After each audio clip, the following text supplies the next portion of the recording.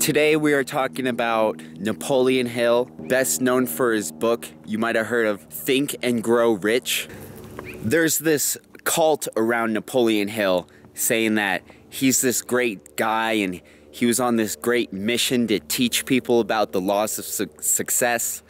But in reality, he was just a scam artist. Went broke many times in his life. You know, he would uh, fake and alter checks. He would do mail fraud. He, he stole cars. So his first job was working at this newspaper, writing for the news. And when there was nothing exciting enough happening, he would just make stories up. News that is not real. There should be some kind of word for that. And there's a secret Napoleon Hill archive filled with his dirty secrets. Even his Wikipedia page says that he only had three marriages, when actually he had five. So one of his first all-out scams was this lumber business. He would buy lumber from people on credit and sell it to people. He got about $20,000 worth of lumber. And in today's money, this is about $500,000 that he scammed from people. So he was forced to move. He moved to DC. He changed his name. He changed his backstory started telling people that he, he was a car mechanic. So he starts this car business, right? During these times, uh, you know, early 1900s, cars are like the big meme. They're, it's like Bitcoin now. So he starts this car mechanic school where he tells people he can bring people in, teach them how to be, uh, how to work on cars in six weeks and be able to make six figure equivalent but this business, it was all just a scam to get free labor, to get people to work on cars for him for free. And you know, he would like have his students fill out like questionnaires designed to figure out how much money they had so he can figure out how much money he can suck out of them. Eventually, like the whole like car school thing wasn't working out too well probably because his students didn't know what they were doing. Then he switches it up and kind of makes it a uh, car salesmanship school. And he makes it an MLM where you can get uh, money for referring people to these schools.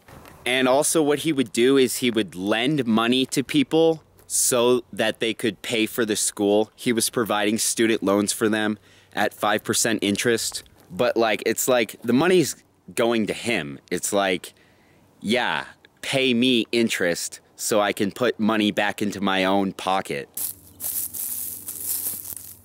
This guy, Napoleon Hill, he's like, he's like on another level. He's playing four-dimensional chess. So eventually he gets married to this girl, fresh out of high school, a daughter of a United States congressman, and his wife's family is able to get him a job at this university or something. And then he starts printing out business cards that says he's a lawyer. He just lies about everything throughout his life. Lies about his connections, his status, everything. So after he's done with that job, eventually he starts this uh, self-help school to teach people about success. And he has these students teaching them success but the company is mostly just a scheme to sell stock to investors. You know, in those days, the company was worth maybe $1,200. And he was selling shares in this company at a valuation of $100,000 in 1900s money. So he'd get people to invest and give him his money, and then he'd just keep the money. He also started this uh, Golden Rule magazine where he would uh, give famous people awards so that his name would appear in newspapers, the Napoleon Hill Award or whatever. Very sneaky self-promotion tactics with this guy. And we're just scratching the surface now.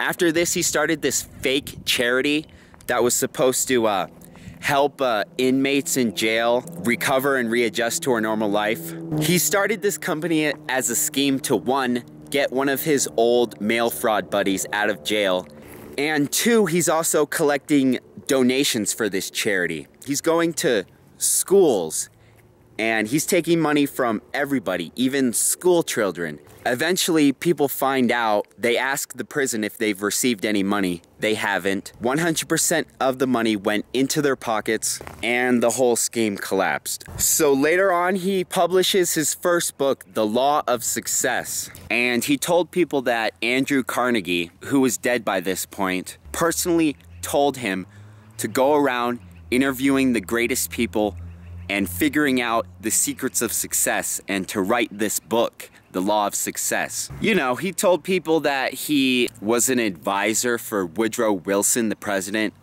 He told people he was an advisor for FDR too, and that he even came up with the phrase, there's nothing to fear but fear itself. All those were lies. He never met Andrew Carnegie or any of these people. He did meet Thomas Edison, though, to try to give him uh, one of his prizes. And he got this picture with Edison.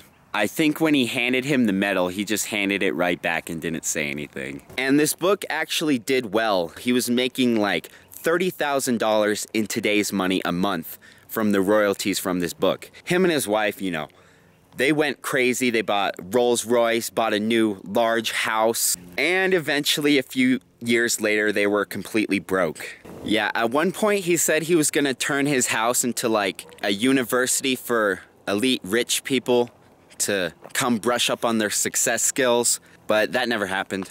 He writes another book, Magic Ladder to Success. It flops horribly. So he's trying to drum up more uh, more sales from his book for Law of Success. And he has this idea to have this contest to turn Law of Success into a movie script, into a full feature movie and he gets all these high school students and everything in on this uh, big writing contest. But it's all just a scheme to sell more books. It doesn't really work, so he goes back to his old game of selling stock to investors, taking money from people. Now, what about Think and Grow Rich? What about that? Where does it come in? He's lecturing one day on success, and he's talking about how he's looking for uh, a wife and everything one of the girls in his lecture meets up with him and they get married like two days later, literally. And with the help of his wife, he's able to write the book Think and Grow Rich. Just think and grow rich. What can be easier? What can be a better title? And his wife helps him like edit. So the book is actually wildly, wildly successful and he makes a whole bunch of money. He's out of poverty again. He gets the new house, the new cars, fancy clothes, they start spending extravagantly. And of course, a few years after this, he goes broke. So, with his new wife, who's just as scammy as him, now that they're broke, they're trying to uh, come up with a PR stunt to sell more books, sell more Think and Grow Rich. They start telling the news media that they're planning to adopt 15 kids and that they're gonna raise these kids to be the top kids of the world. And it's an experiment on raising kids. Yeah, they never adopt 15 kids. The two of them get divorced eventually. And then Napoleon Hill's back to his old scams, his old starting fake charities. And he's like 70 years old at this point. So he dies with very little money. And people still praise his name to this day. He was like the first person to really make a, a self-help book and his influence is everywhere. His influence is on the law of attraction. His influence is on Tony Robbins. But I'm not trying to say like, oh, everybody's stupid and a retard for following this guy. But I think now that you know that he was just a career scammer, you know, you really look at those books differently. You think, huh, is this book really supposed to help me or is it just supposed to make me feel good? That's Napoleon Hill. That's his legacy. He was good at making people feel good.